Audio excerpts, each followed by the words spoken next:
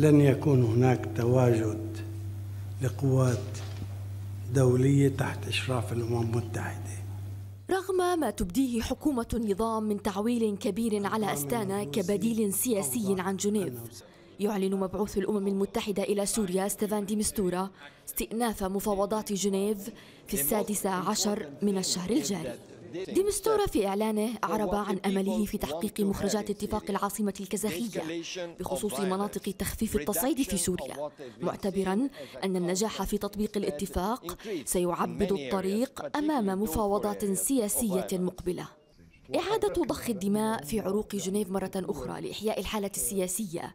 توازيه معلومات حصلت عليها أورينت نيوز حول اجتماع ستعقده الهيئة العليا في الرياض السبت المقبل من أجل مناقشة دعوة إلى جنيف وجهها ديمستورا الهيئة العليا للمفاوضات بينما تدرس مسألة المشاركة يبدو بأنها تعي خطورة المحاولات الإيرانية والروسية ومعها محاولات النظام للالتفاف على القرارات الدولية المتعلقة بالملف السوري وأبرزها قرار مجلس الأمن رقم 2254 حيث حذر المنسق العام للهيئة العليا رياض حجاب من التخلي عن مخرجات جنيف والرضا بأستانا كحل سياسي مضيفا عبر اتصال هاتفي مع وزير الخارجية البريطاني بوريس جونسون أن مفهوم خفض التوتر الذي تطرحه المذكرة الروسية مختلف تماما عن مفهوم المناطق الآمنة.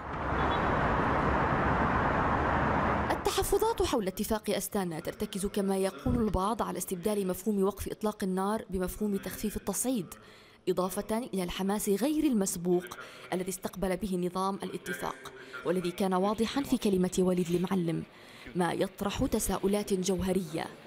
كيف ستتفاعل موسكو مع المساعي لجنيف؟ هل ستنجح في جعل أستانا بديلا عنه؟ خاصة وأن في بنوده اشتراطا باستبدال الأسد وخروج الميليشيات الإيرانية والشيعية من سوريا. الولايات المتحدة البعيدة عن أستانا فيبدو أنها ستضع موسكو في اختبار أخير لجديتها في حل الأزمة. ويبدو أن إعلان ديمستورا مدفوعا من واشنطن التي أرادته لاحقا لأستانا سابقا لزيارة لافروف.